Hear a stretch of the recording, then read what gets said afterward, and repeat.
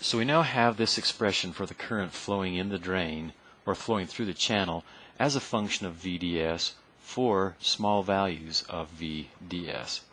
In this video we're going to take a look at well what is the effect of the gate voltage, the voltage on the gate on this constant or this uh, this term that we're calling the conductance. You'll notice here that as VGS increases, going from VGS being less than or equal to the um,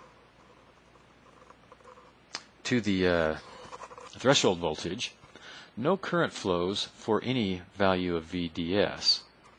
As VGS increases to some amount over the threshold voltage, we then start getting current flowing and we see that current is a function of VDS.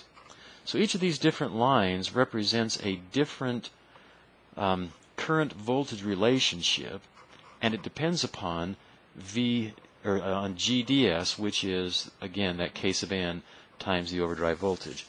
So what this is saying is that as we continue to increase the voltage at the gate above the threshold voltage, more and more current is able to flow for a given VDS. In other words, the conductance of the channel continues to increase.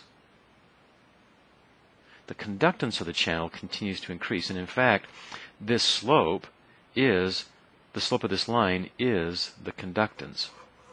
And as we pointed out before, the current then is just equal to the conductance times VDS. And of course, the conductance is dependent upon the value of VGS.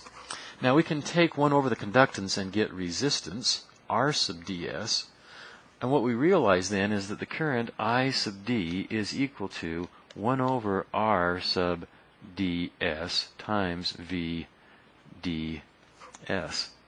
In other words, when the voltage VDS is relatively small, this field effect transistor serves as a voltage controlled resistance, where the lower the gate voltage, the greater the resistance. That should be fairly intuitive. As the gate voltage gets greater, it draws more electrons into the channel and makes, in fact, makes the channel deeper. So that the greater VGS, the more current capacity the channel has, or the field effect transistor has, thus the conductance is greater, or the resistance is less. And there's that 1 over, there's that inverse relationship between the conductance and the resistance of the channel.